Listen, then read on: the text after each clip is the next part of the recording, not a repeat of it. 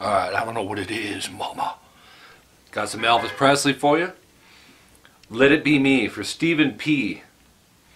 Um, you said this is uplifting for kids. Is this the Stephen P. my Skype student? Probably not. But anyways, Elvis, man, what can you say? Legendary, icon, never to be duplicated. Elvis is great. Um, let me show you the first couple parts to this. It is in standard tuning, and um, so yeah. Hey, quit honking! Trying to work. Okay, here's what we got.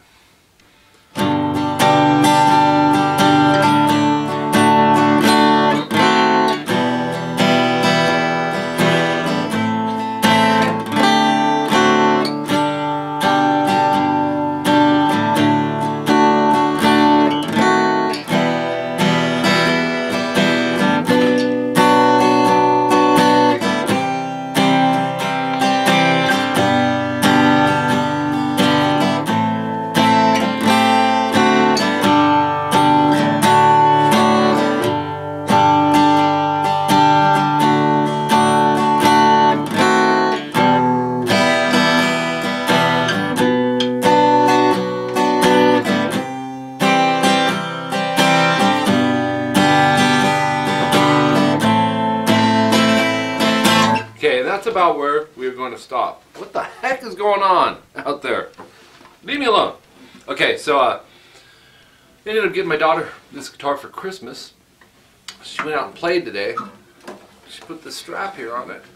And if I wear it, it's actually going to choke me out. Like the Beatles. If I was doing a Beatles lesson, it'd, it'd work. But I'm going to come in and Johnny Cash style it. So we're going to start with uh, G major. Guitar is a little difficult to hear in this. Um, the piano's more uh, in your face, so I can tell by the piano chords what the guitar is doing. Okay, so G major, we got 3E, 2A, open D, open G, 3B, 3E. And there's also the possibility that it's 3 on the high E as well. So, um, the strum, that's kind of the vibe of what's going on. I'd emphasize a down strum or a downstroke on the top three strings. And you don't have to be like, you know, just aim for the thicker strings. Think of it that way. Don't go, you're going to do that next. So we have, and then go up, down, up. That's the pattern. That was two of them, right? Then we go to D major, and your third finger is already where it needs to be. Go two on the high E, middle finger, two on the G index. Take your thumb, this is stuff that gets overlooked a lot um, with guitar players when they're trying to explain things, but take your thumb and just touch the low E. Don't push it down, just touch it to mute it. You got that much space between the strings, so th that's, that's the mindset behind that. Um, same concept, um, emphasize on the top three, even though it's a mute, it's fine. And do the same, uh, same strum one time, and then hit it once, and then we have this diminished chord. So we're going from G, G major to D major, and then we got it diminished here, and but it's just in passing. In other words,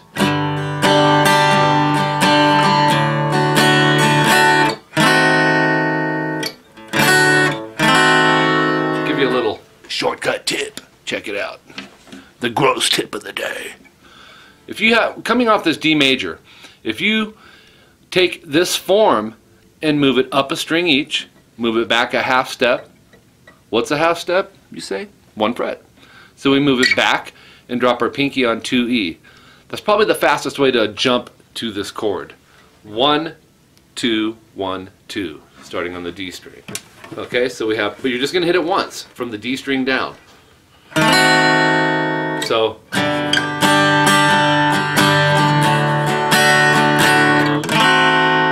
and then E minor, that's uh, 2A, 2D.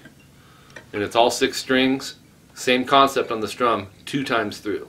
Double dots, repeat. And then we go to A minor. And um, if you can, with your thumb, mute the low E there. The A minor does have a E note in it, but let's try to stick to the root being an A. And the E will be on the string one.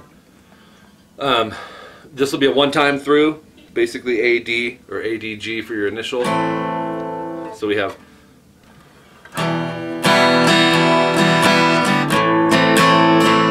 Okay, so one time through, and then um, we're gonna do it's basically D7, but we're gonna I, I call this a D7 suspended, but technically it's I'm sure a different name.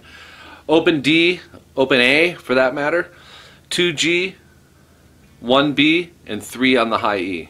Okay, and I would do it with that fingering because after we strum this once, I've got like a weird smear on the lens, I think. We'll strum it and then we'll go to the D7, which is fret 2 on the high E. Everything else stays the same. But all you'll be doing is two downs going, and that's the intro. So let's play the intro. You ready? A one, a two. Just kidding.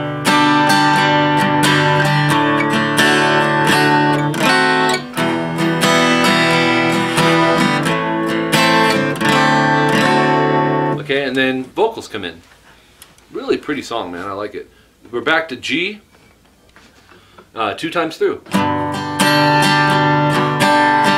D major, two times through. No, actually it's the same as last time. One time through, and then strum it to the diminished. E minor, same same way as last time, two times through. And now it changes. We're going to go to a B minor bar chord. Bar the second fret, strings 5 through 1. With that first finger, just touch the underneath of the low E string to mute it out. That's the reason. Muting is just as important as the notes of the chord. And, um, you know, that it just is. If you hit a bad note, one bad note in a chord, by not muting it, it'll sound horrible. It ruins the whole thing. So may as well mute it from the get-go. Then we got 4D, 4G, and 3B we use this in the George Harrison one. Okay, um, two times through. Then we go to C major. I'm hearing a high G in it, so you would go 3A, 2D, open G, 1B, and then 3 on the high E string. It's, you know, C is usually played like this, but um, a C chord is a C, a E, and a G note, right? Or, well, we're just catching a high G instead of a high E in it. Okay, so go. Also with your thumb, if you can't mute it, then try to touch it with your third finger. I do both. Then go to G major, but check this out. This is probably how this part's being done. Um, I couldn't find any actual, you know, live playing of being able to stare at this chord. But um, you'll go from that to a G major, get rid of your index, and just move your third finger up one and your middle finger up one. Keep everything else the same. Okay, and then um, strum through on that. And then we go to the A minor, like before. And I think that was just a one-time through. Let me let me play it from where the vocals come in.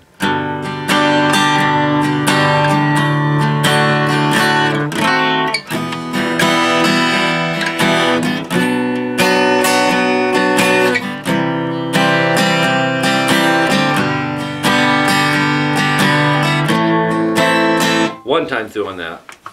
And then we do the suspended thing again like we did last time, the D7 sus to the D7. Back to G major. You can do the four finger version or the three. One time through. And then D major, two times down. See how the thumb comes up there? I don't think about those things, but you know, since I've been teaching online over the past year and a half, well, I was analyzing this stuff as a private teacher. I mean, I've been doing it since 92, but um, I'm looking at myself as I'm playing this. And it really makes you aware of things. And if I don't explain it, you guys will ask. And you guys need to know it anyways. So coming off that G, you got... We did this, right? Then... Another last little tip I want to point out. If you don't have to lift a finger up in a chord, don't do it. It's more work. But um, your mind's going to tell you, no, it's more work to remember which finger to leave down. There's some truth to that as well. But the ultimate goal down the road, you'll end up doing it anyways. I almost guarantee it. Transitioning that third finger is the pivot point because it shares a note. It shows third fret on the B. So they, the G chord has a D in it and the D chord has a D in it. So that's the concept on that. And like I said, I do like to explain those things. If you don't know, you don't know. And you know, you, I guarantee you, you turn on on YouTube or whatever, or watch a band in concert on a DVD or whatever, you'll start seeing that thumb come into play with stuff. Um, little things like well, I used to wonder why would someone want to play the G major with this layout? It doesn't make sense. It's it's physically harder. Um, it's more comfortable to just do this. Well, if you're coming off of a C chord like like we're doing in this Elvis song, you're actually set up for it. It actually makes it easier. So it really depends on what's the next chord coming up, or you know it could be the chord prior to, but whatever chord's around it. Then once you see that bigger picture, it'll it should click.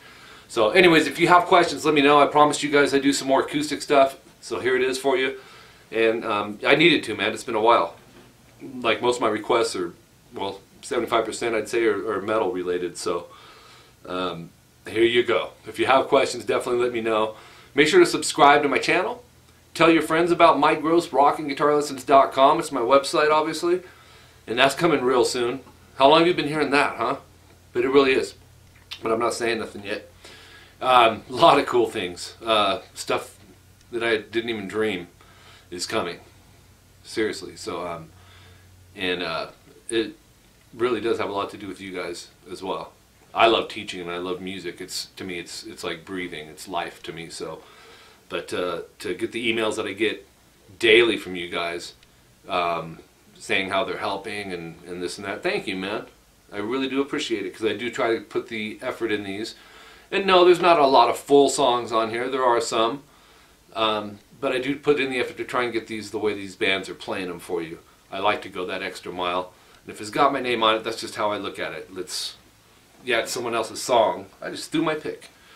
But anyways, you follow what I'm saying. If you're interested in some lessons for guitar or bass from me, or my beauteous wife, Joleen, she teaches people how to sing, just like Elvis Presley or whatever you want to sing like.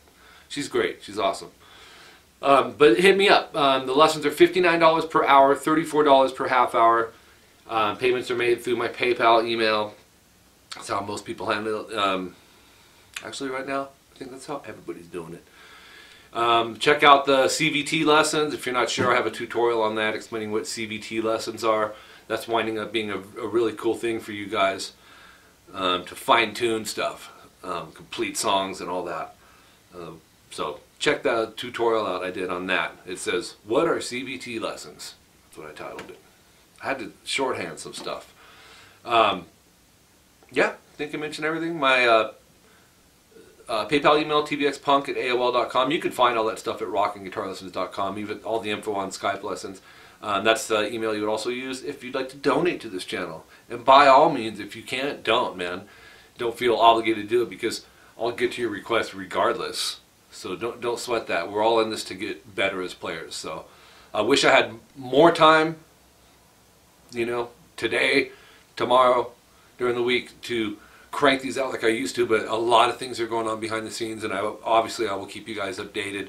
But um, one thing I've learned in this year and a half is don't don't, don't really uh, give an absolute if you don't have it.